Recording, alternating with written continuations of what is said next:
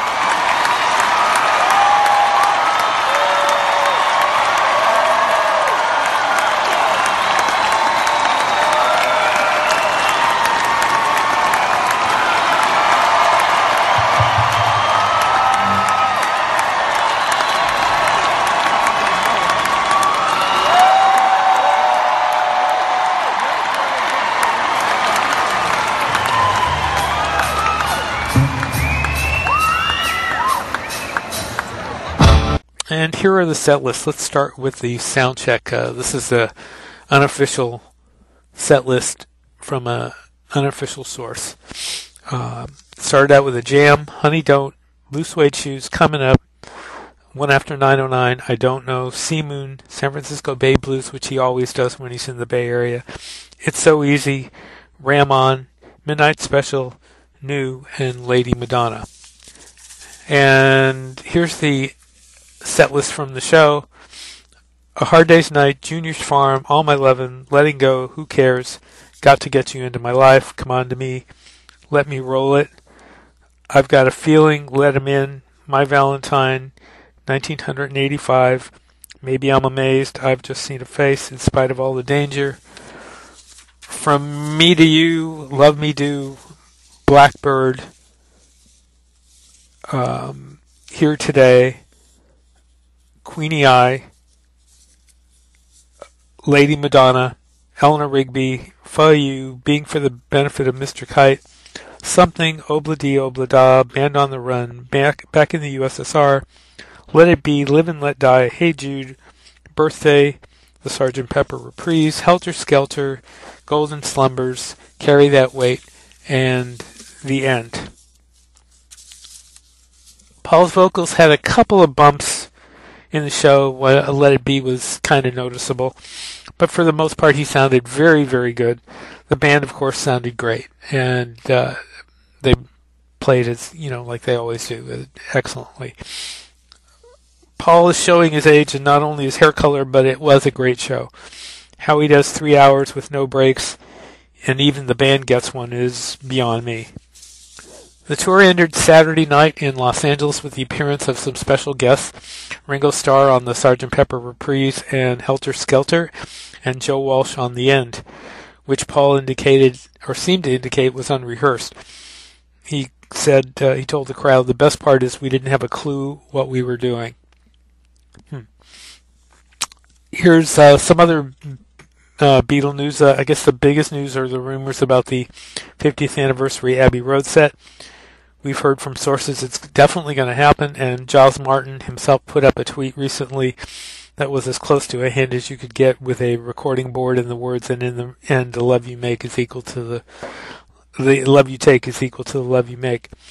There are leaked track lists now and we caution you that usually uh, just about always these things are always wrong so don't take them seriously as you know final words but you could almost guess that there will be an updated mix and outtakes. I mean that's a no-brainer.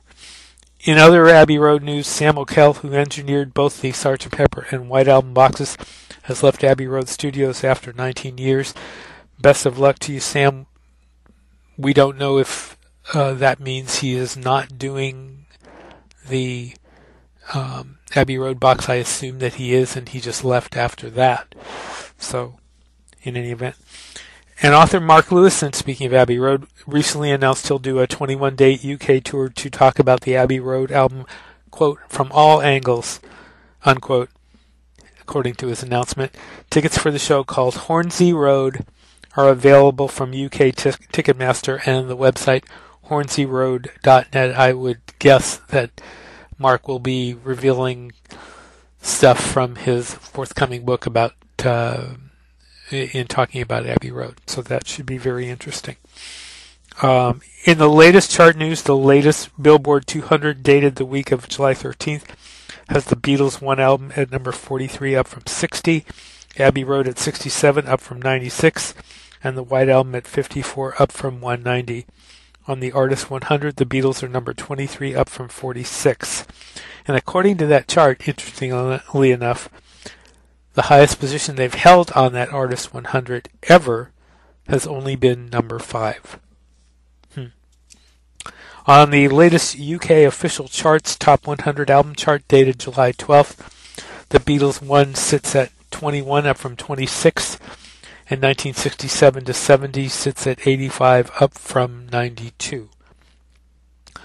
Looking back in history, on July 13, 1985, Live Aid closed with Paul McCartney singing Let It Be through a faulty mic. July 14, 1945, drummer Jim Gordon, who worked with um, solo Beatles, has was born.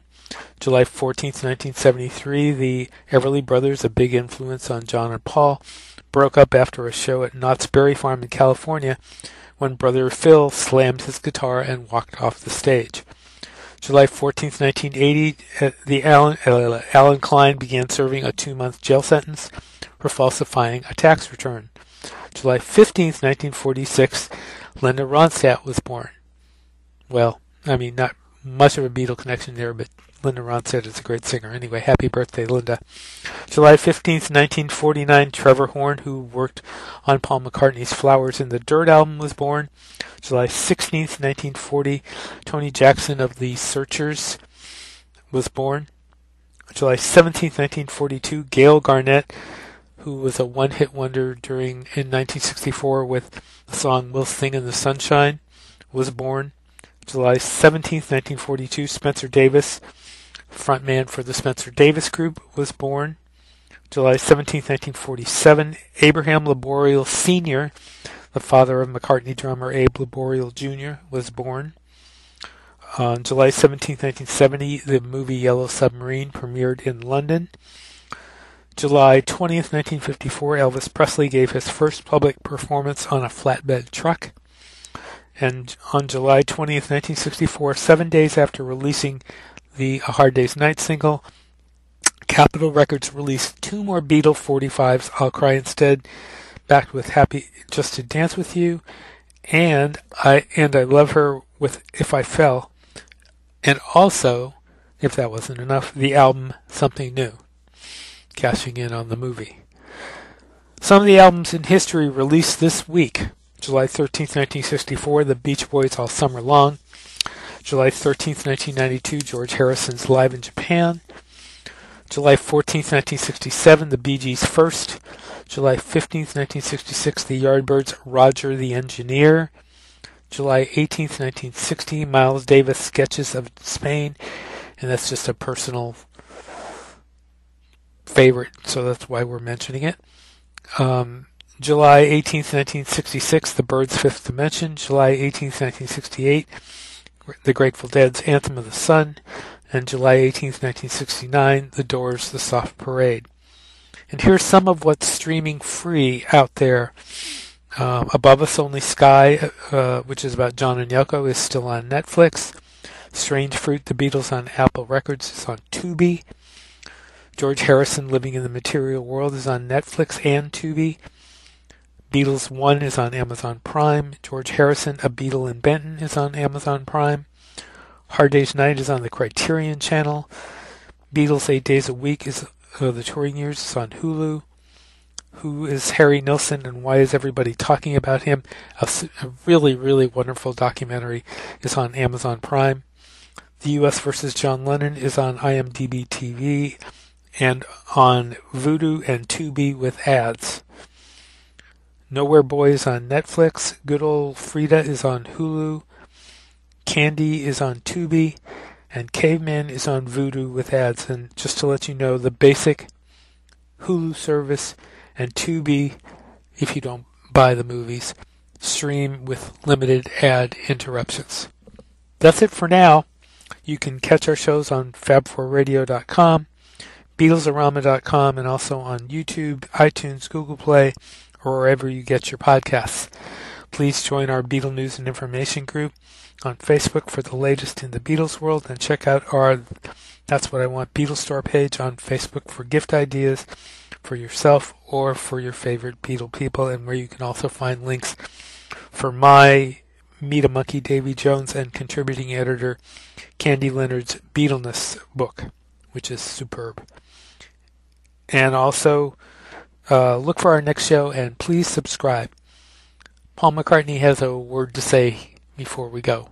One thing left to say. We'll see you next time. And until we see you next time, this is Steve Marinucci saying, Be seeing you.